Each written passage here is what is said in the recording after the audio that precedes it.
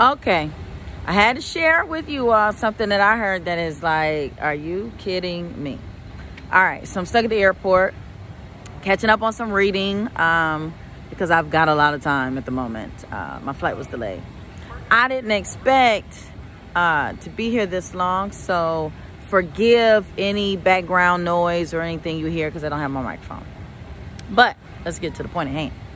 So I'm reading, catching up, trying to, you know, make good of this situation. And uh, I read an article that said that Equifax fired 24 employees that they found were working second secret jobs.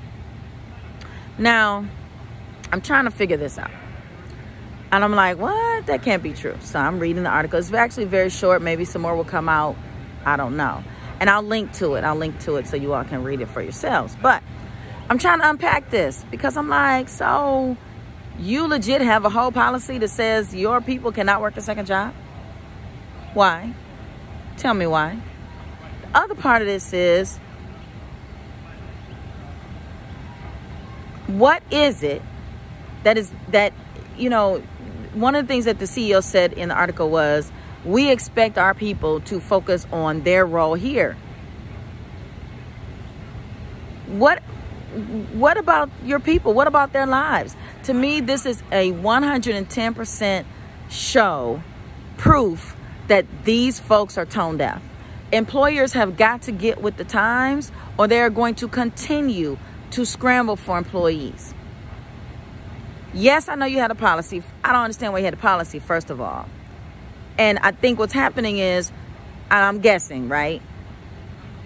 So you're like, my people can't have two full-time jobs. How can they do my job, our our role to the best of their capacity and work a whole other full-time job?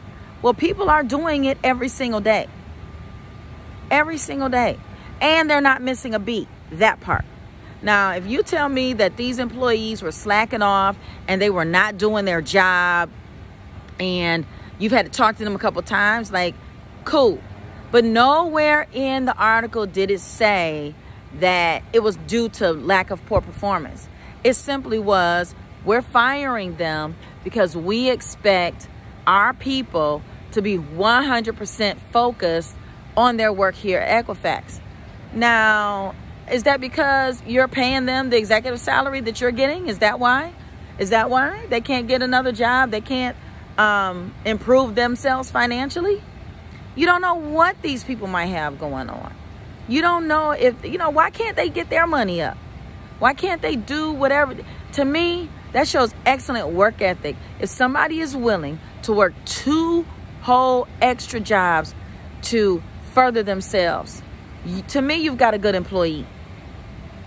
Because in order to be able to do that and do it successfully, you've got to be organized. You've got to keep everything on track and in, or, in order to do them both well. Now, again, if somebody tells me, hey, they were slacking off, we had to talk to them however many times, I, okay, fine.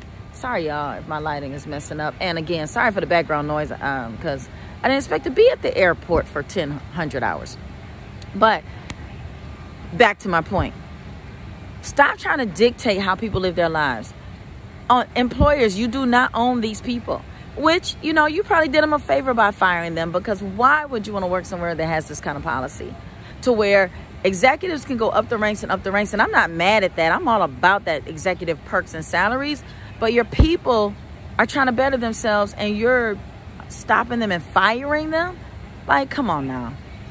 That, but but what about, you know, the people got, it just shows how out of touch some of these employers are people have children they got to take care of. People have parents and and other people in their family they might be trying to take care of. Like, man, people are trying to put gas in their car, put groceries. Man, you groceries are like double the price now. I don't know if any of you saw this, but I did I did a piece on a bag of wings that I normally buy. It used to be 20 bucks. The same bag of wings, they probably took some wings out. It's like $46 now. Are you kidding me? So you're to fire these people because they're trying to basically beat this inflation, stagflation, recession situation that's coming on. So you're basically punishing them for trying to find a solution in this economy that we're facing right now. And that's not right. That is not right. I think it's an absolute ridiculous policy. So to that end, I didn't read the policy. I'm not going to read the policy. Anybody else who feels free, carry on. But let me tell you this. I don't want to hear about, oh, they had a policy and the people didn't follow the policy. Understand that. It's a dumb policy, flat out. Just period. It's a dumb policy. What they're trying to do, and they use their own software. So they have like this number works software. I, I might be getting the name wrong, but like again, I'll link to it.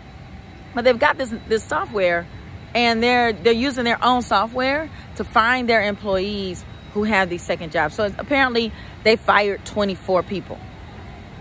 Um, oh, sorry, that's not good light. Uh, I don't think it's right.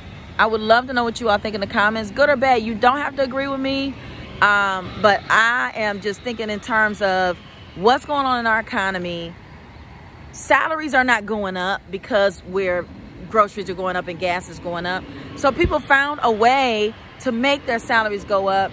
And I commend them for that. Do what you got to do to take care of your family. Forget what your employer says. You know, I'm not saying don't follow the rules, but this one is a little ridiculous. Again, if they're slacking off, cool. They got to go. But if people are doing their work and making it happen, you you know, this is a little bit too much. Equifax is just a little bit too much.